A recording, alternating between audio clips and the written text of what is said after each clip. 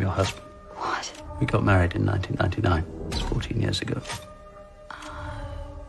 Christine, you're 40. You had an accident. It was a bad accident. You had head injuries.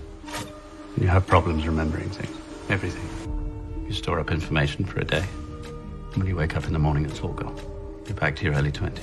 I'm scared. I know. I know. It's all right. Please. Trust me. We've been married for 14 years. Is every day like this? Is every day the same? That's just a list of everything you might need and where you'll find it. Aspirin, first aid, sanitary towels, toiletries, a couple of things you're allergic to. Well, it's a list of things to do. You like to keep busy. Pack bag. Today's our anniversary. Taking you away. Tonight, after work. Where? It's a surprise. A nice one. You'll understand when we